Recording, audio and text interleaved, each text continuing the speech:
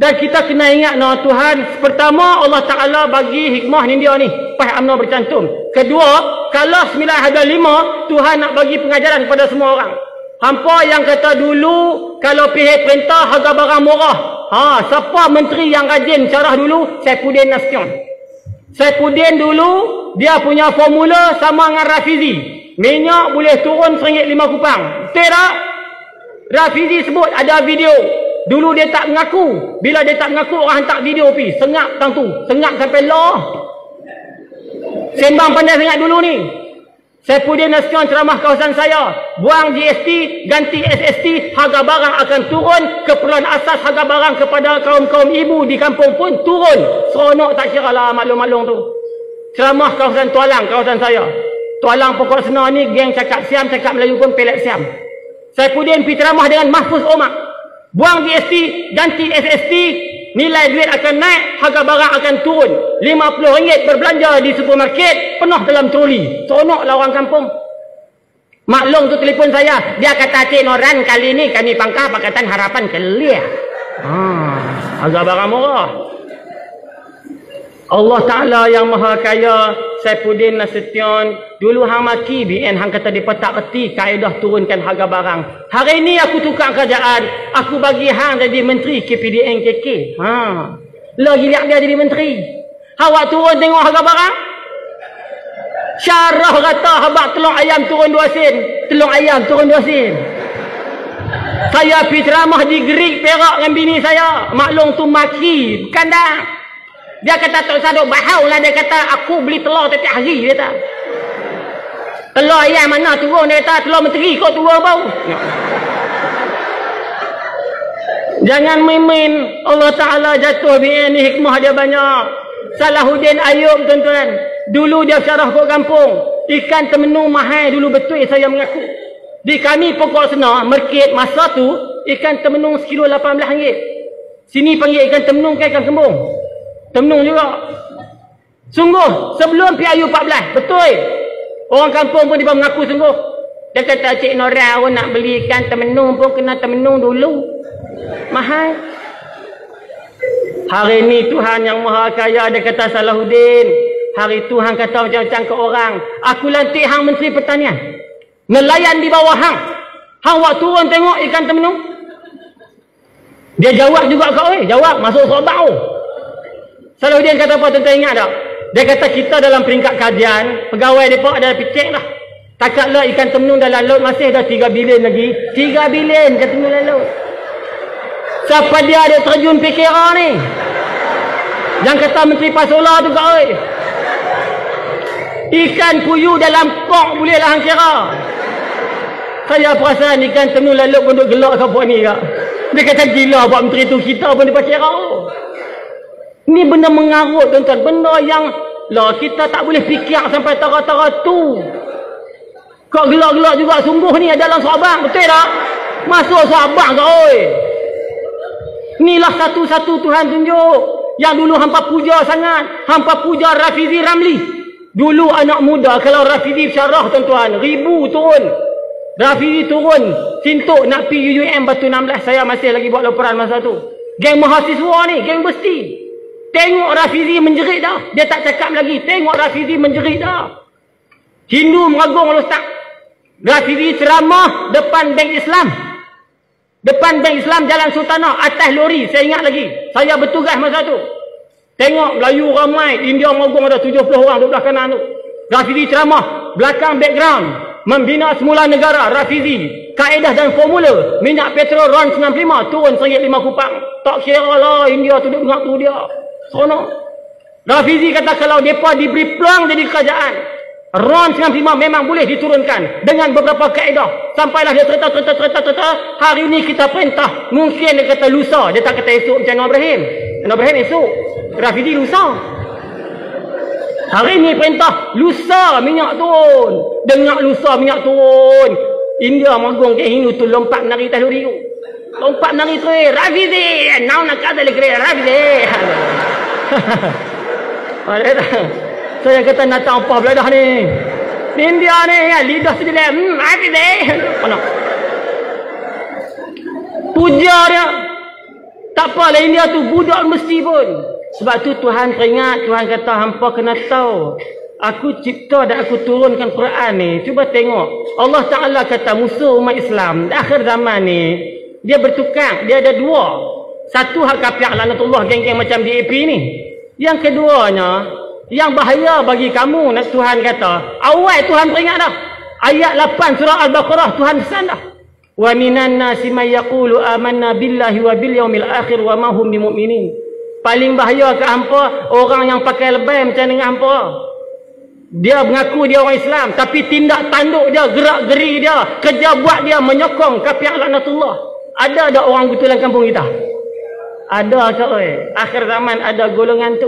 Jangan kita heran. Dan Tuhan pesan lagi akhir zaman hampa jaga. Ada golongan yang bila hampa tengok dia hampa takjub. Wa idza ra'aituhum tu'jibuka ajsamuhum. Hampa tengok dia, hampa takjub terpersona. Wa iyaqulu tasma' liqaulihim. Hampa dengar dia bercakap, hampa terpesona formula minyak turun seriat lima kupang. Dua tangan naik lagu tu. Ni India dia kata. Mahfuz pergi ceramah di Kupang, Baling. Buat demonstrasi. Mahfuz Umar. Ha, geng-geng Ustaz Umar kalau dulu ni kan. Ha. Panggil maklum ada motong getah tu. Dia kata kalau mereka perintah Last kerap dua ringgit dua kupang. Kalau mereka perintah, dia telefon lembaga getah Malaysia. Dia telefon, kita akan apungkan. Kita akan tetapkan pada kadar harga lantai. Tak kurang lima ringgit satu kilo. Maklum bawah tepuk tangan. Ha, dia kata lagu ni boleh dikajaan. Hari ni, sebab tu Tuhan kata wa idza ra'aituhum tu'jibuka ajsamuhum tengok takjub. Bila depa cakap terpesona tapi Allah Taala kata awas ka'annahum khusyubun musannadah.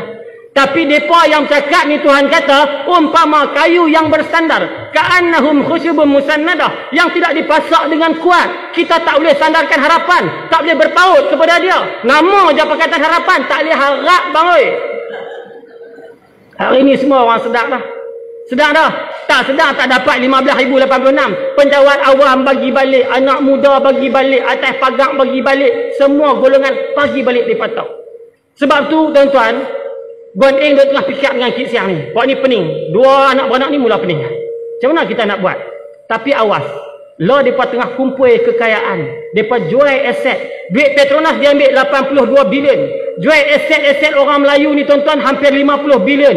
Buat bond samurai dekat Jepun. Campur semua ratus bilion. Ada kalanya nanti mereka akan lepaskan. Mereka nak beli balik kita. Lo mereka cuba nak beli. Lo ni rakyat marah. Dia hantar Saifuddin Nasution. Mai pujuk kita.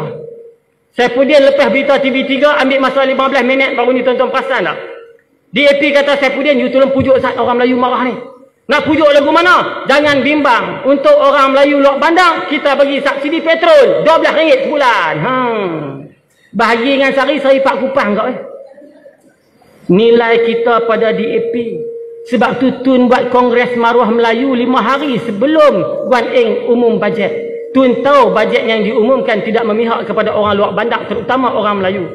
Tun tak mau bagi orang maki dia. Tun kata, sebab tu kalau tuan-tuan tengok ucapan Tun, ada Tun sebut berbaur macam mana. Tun kata walaupun dia Perdana Menteri. Tetapi keputusan dalam kerajaan juga mengambil kira mereka yang dominan daripada parti-parti lain dalam Pakatan Harapan. Perasan tak?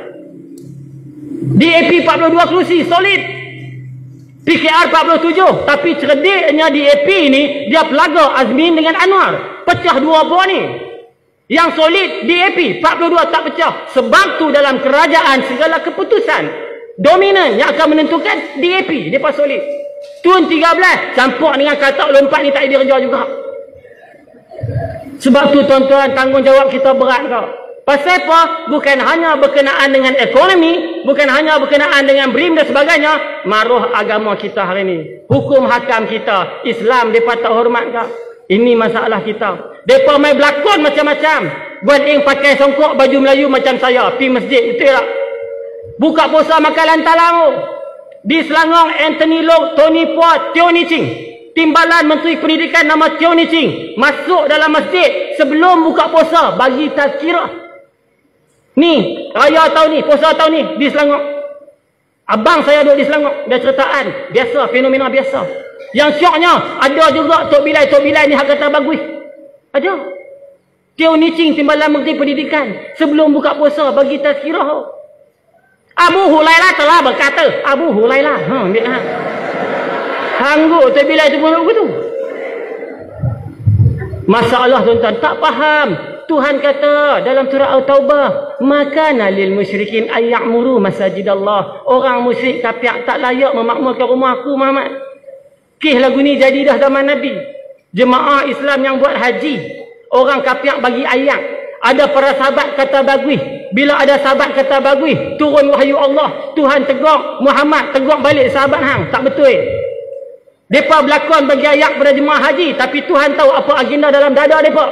Maka Allah turunkan surah At-Taubah ayat 17. Maka lil musyrikin ayamuru masjid Allah. Orang kafir tak layak memakmurkan rumah aku. Pasal apa? Syahidina ala anfusihim bil kufri. Mereka menjadi saksi kekafiran mereka. Lim Guan Eng semayang di gereja. Anthony Lok semayang Damansara Utama Methodist Church. Christian. Hang dia main berlakon pakai songkok baju Melayu masuk masjid. Tuhan tahu agenda mereka di belakang. Macam Lee Kuan Yew. Lee Kuan Yew tuan-tuan, last kali tuan-tuan. Lee Kuan Yew dulu masuk kampung Melayu pakai songkok juga, betul tak? Dia pakai baju Melayu, tapi bila dapat Singapura kepada dia, tengok dia kata apa. Tahun 1999 dia tulis buku dia. I can integrate all religion and races in Singapore except Islam. Islam Lee Kuan Yew tak mau. Dulu hang masuk kampung Melayu, hang pakai songkok baju Melayu. Hang dapat kuasa di Singapura, hang benci orang Islam. Islam dia anak tirikan, Islam mahu dihapuskan. Sama Lim Guan Eng buatlah ni. Lim Guan Eng buat benda sama. Pakai songkok, pakai baju Melayu, pujuk geng-geng anak muda. Ambil lima ribu bagi kat surau. Wartawan tangkap gambar. Anak muda kita tengok Guan Eng. Walau kapiak Omar Brazil. Hmm, jadi lagu tu.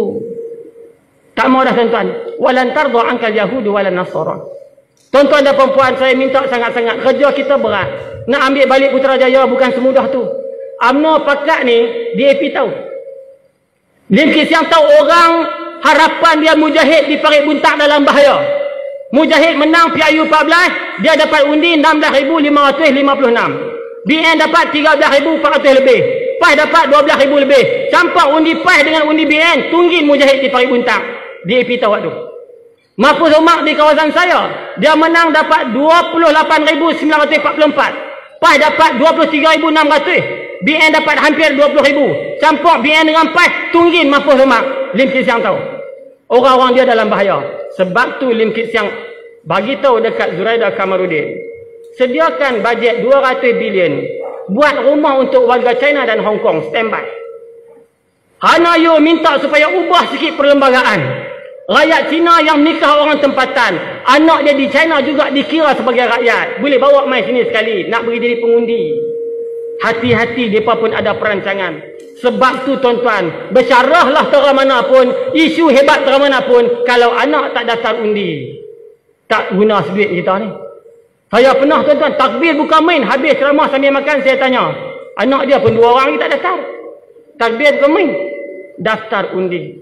Kakak-kakak semua, nak jadi apa kepada Malaysia, kita lah yang akan bawa pula obor-obor panji perjuangan. Orang tanya saya, Cik Noran duduk ronda satu Malaysia ceramah. Agak-agak boleh balik dah Putrajaya.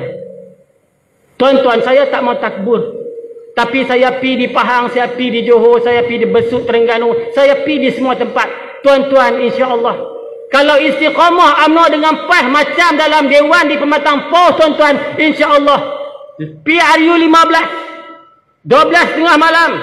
SPR umum kita insyaAllah akan dengar PAS dan UMNO muafakat nasional cukup kerusi untuk bentuk semula kerajaan di Putrajaya. Gelombang ombak tinggi melambung di bawah angin menghempas ke batu. Ikut hati saya nak sambung. Tapi masa jadi lagu tu ke-12 dah ke oi. Jadi tuan-tuan dan perempuan, harapan saya kita istiqamah, jaga no dan ingat kita bukan nak jaga orang Melayu Islam saja no. India, Cina pun kawan kita baik kita kena jaga juga. Yang tak boleh cuma Cina jenis DAP ni saja no.